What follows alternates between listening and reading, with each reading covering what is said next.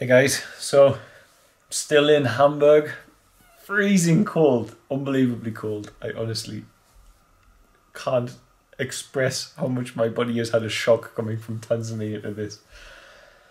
but I'm about to go for a run, and before I do, something's been on my mind since yesterday. It's been on my mind a little bit anyway. Last year it was on my mind in Hamburg and it's about homeless people in the West. I mean, I'm speaking about Europe, but it's the same everywhere.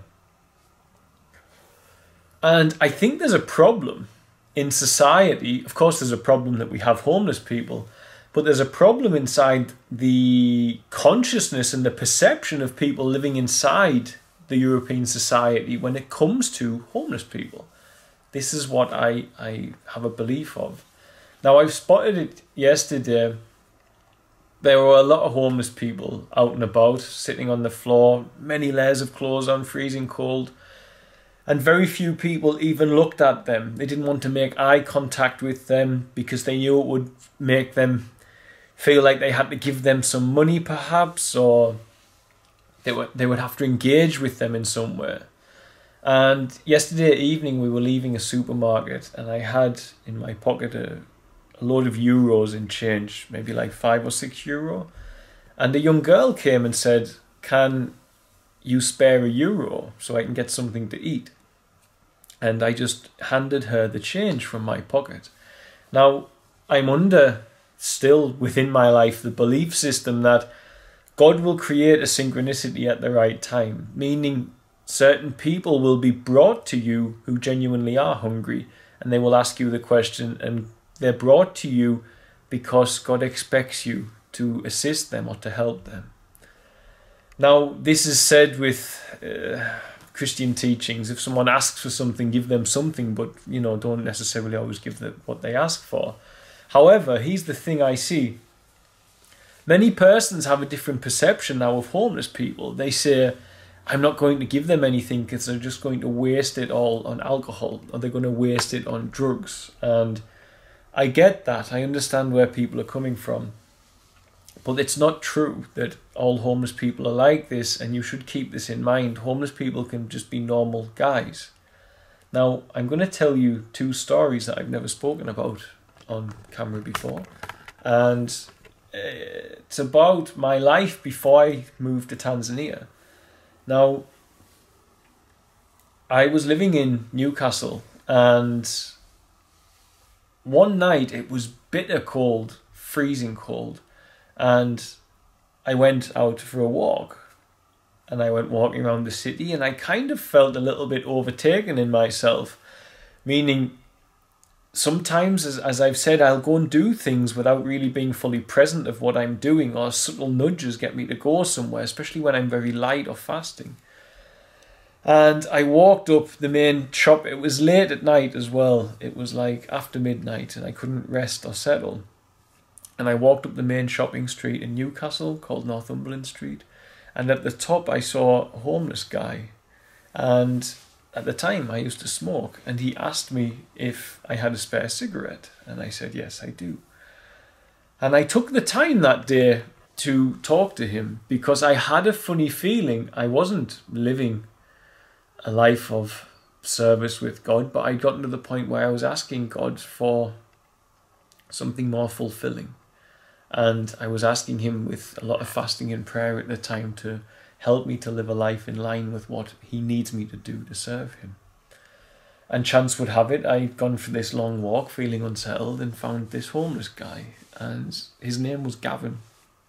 And he had his hand bandaged up and he looked a very unwelcoming character. He had a, a, broken hand. He looked like he'd been fighting. He's, he's a little bit scruffy around the edges and he's sleeping on the street.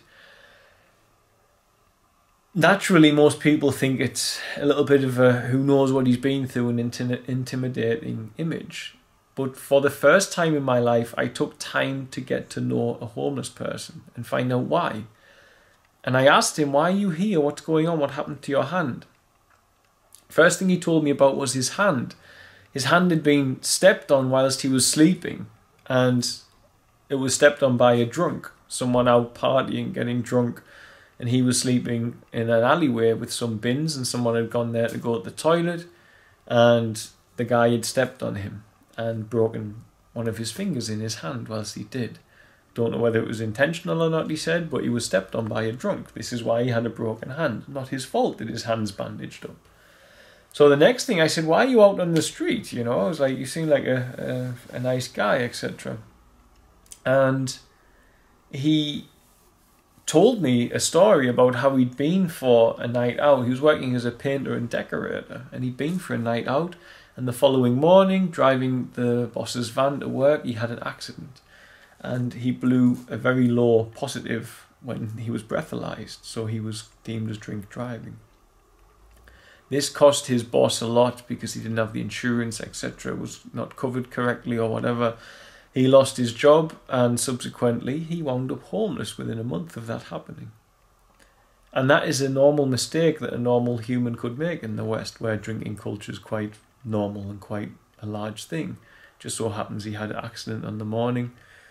Arguably, he would have had that accident whether he had a drink the night before or not, who knows? But he was a normal working guy down on his luck. And it just shows you that a lot of the time homeless people they're not just a drug addict. They're not just someone trying to get money out of you. They're people who need help. They need help and they need you to make eye contact contact with them. They need you to reach out and share with them. Now another time which was uh, a harder story for me was a, a young boy called richard i walked past him again in newcastle and oh by the way with that guy I'll tell you something which happened that night. I went home to get him a sleeping bag. It was freezing cold, and I went home to get him a sleeping bag. And all the way through Newcastle city centre, the CCTV cameras followed me. They twisted on every street as I went home to get the sleeping bag and as I brought it back for this homeless guy. Because it's suspicious for someone to help a homeless person. I'd obviously been seen talking talking to him and it was suspicious I was helping him. That's what I presume was going on, or they were just intrigued, whatever. But all the CCTV cameras followed me, and it was while I was getting him a sleeping bag that I don't use. So he was grateful. I saw him again since, and he said he was much warmer at night. Blah blah. Had I been what I know now about myself, I would have helped him more. But at the time, I I wasn't as developed as I am now, so that was the limit of what I went to some money, a sleeping bag, and some cigarettes, which aren't very helpful. But I remember not long after this, as I say, I met this young guy, and he was sitting in the middle of a very busy street wearing a white dressing gown, like a bathrobe. If you're from another country, you might know it as. And nobody was looking at this kid. He was young. You could see he was young. No one was looking at him again. I, and I know what it is. It's a. I don't want to engage with him. He might be up to no good. He's probably trying to scam me. And I, I walked over and I, I sat down next to him and he started laughing and he was like, It's cold, what are you doing? And I was like, I want to talk to you. And I said, like, what's your name? Like, why are you here? And this guy, he was only like 19 years old. 19 or 20 and he had a little sister and his parents had died. And it was a true story. This was a real story. It's not some blag or some nonsense. I genuinely sat down with these these young men and, and got to know them because i took an interest. They were happy to tell the truth. And his parents had died. First his father then his mother and when his mother died he wound up with uh, one of his siblings and his little sister all living together in this house. And he and his sibling, being young people who had just had a recently deceased parent, had a party, and social services came, saw what was going on, and took the young child away. The older sibling disappeared, involved in drugs, and he was left on his own.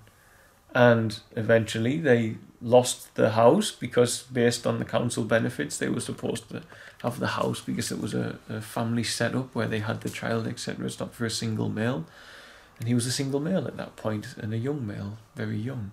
So he lost his home and he wound up homeless. And he'd been homeless for like six weeks or something when I met him. And for sure, he was involved in things he shouldn't be alcohol and drugs and smoking cigarettes, etc. However, of course he is. You know, you've lost your loved ones and then you're out on the street by yourself. And the dressing gown he was wearing was his mum's dressing gown. And I knew, I knew that if 10% of the people walking down the street knew what they were looking at when they saw that scruffy looking boy with his uh, with his bathrobe on or dressing gown, as I would say, that they would reach out and want to help him. But most of them have a pre programmed thing where they say, no, they're going to use my money for drugs, it won't truly help them. And this is a major problem, guys, because so what if they're going to use it for drugs? What if they use some for drugs and some to get themselves somewhere comfortable to, to sleep. And in those places where they get somewhere comfortable to sleep, you get the people who are there who are able to help and to help them to rebuild their lives. Most working persons use their money for drugs. Most of them use it for drugs. So, you know, this conception of, ah, you know, let them sort themselves out, it's very wrong. There's a reason people end up so downtrodden and broken and people don't choose to be homeless, guys. No one wants to be homeless. People don't choose to be taking drugs whilst they're homeless. People don't do it. But the thing is, when you dig into it, you find that people have normal stories and tiny little things can happen to us that would create that. I mean, God forbid, but it could happen with I. I'm never going to have any money in my life now. What about later in life if my family are no longer present on the planet, and uh, Tanzania all of a sudden breaks out into civil war, kicks me out of the country, and I'm alone. What happens? I become homeless until the government provides me with something. Doesn't mean I'd be a bad person because I'm homeless, and you don't know the story of those men and women who you don't make eye contact with. And I just want to remind everyone because even in my position, where I don't have a lot of money. The money I have now is the money it's been given to me for Christmas. And I'm still willing to share with someone who needs something to eat. Naturally. And everybody should be. And it doesn't take much to sit with a person and treat them like a human being and put your hand on their shoulder and say, Hey, what, what happened? Why are you out here in this cold weather by yourself? Where's your family? Where's your home? What, why don't you have a home anymore? Are you okay? What can I do to help you other than a bite to eat or a handful of change? Is there anything else I can do? You know? And this is all I wanted to speak about because I keep seeing people not looking. And they're not looking because there's this pre programmed thing in our minds that homeless people are trying to scam us and it's just 90% of the time not the case. And the reason we don't know is because we don't take time to treat them like a human being and ask them if they're okay. You know, if if you saw me now and you know my face sitting on the street a year from now, you would come and try and help me. But just because you know my past, but you don't know the past of the guy sitting on the floor they might very well have been doing something similar to I and ended up caught out by the system because they've been volunteering as an aid worker and now they're stuck homeless somewhere. So, yeah. Just a reminder, guys, you don't have to go to far off lands to be people. And here in the West, where it's not, you don't even have to fight to find the resources to help people it breaks my heart that it's simply the only problem facing those homeless persons outside in this city today, tonight, in this freezing weather. The only problem and the only place the problem needs to be fixed is inside human brains because the resources are there for them very, very clearly. It's not like in Tanzania where I have to fight and find the resources. Here in the West, they're here. But there's invisible walls inside people's minds and psyche that don't allow those resources to get to the people who need them tonight. And this is what we need to work on doing. That's why we need to give birth to the Christ within ourselves in meditation so we can help people. Because believe me, I'm guilty of it. There was a time in my life where I would just step over a homeless person. A time in my life where I'd ignore them. Not proud of it, but I know why. This societal thing that they're all scamming us or tricking us. It's just nonsense. They're men and women who need us, ultimately. And by us, I mean those who have. So, okay. Much love. Bye, guys.